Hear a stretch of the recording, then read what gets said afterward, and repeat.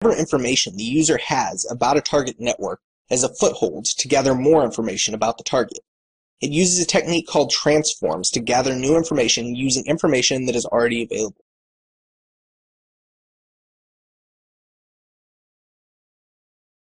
Start by selecting New up in the top left corner. And different types of information gathering are separated into different palettes to include devices, infrastructure, locations, pen testing, personal, and social network. Devices, infrastructure, and locations can be helpful for gathering information about a target company or organization. Personal and social network can be used for gathering information on specific individuals within an organization for social engineering purposes. And penetration testing integrates several pen testing tools into the Maltego platform. We're going to start with infrastructure. So we'll go ahead and expand that and then drag DNS name over to the center screen.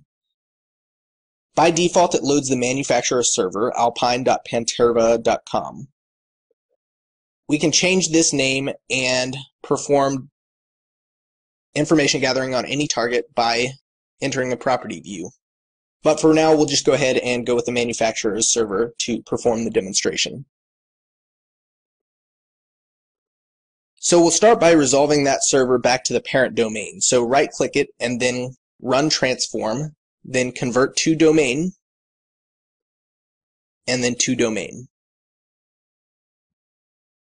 and it immediately resolves the Alpine server back to paterva.com.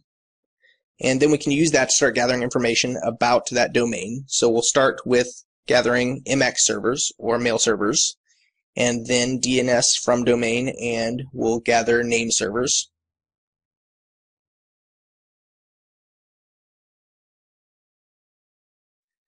Then we'll gather different hosts by using common domain names.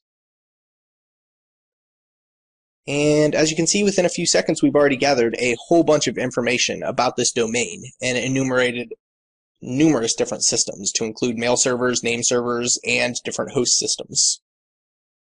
There's still a lot of information that can be gathered from the parent domain. But in addition to running transforms on it, we can also run transforms on all of the objects that were created as a result of previous inquiries. This allows us to use a point-and-click approach to continue to yield more and more useful information. Here we've just gathered the IP address of a particular host that was previously collected.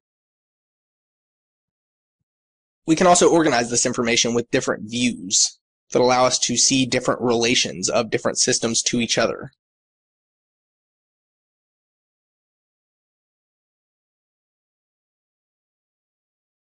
We can also select from main view, bubble view, or entity list, which will give us information about each of the different objects that have been discovered. So that's just one example of how you can use Maltego to gather information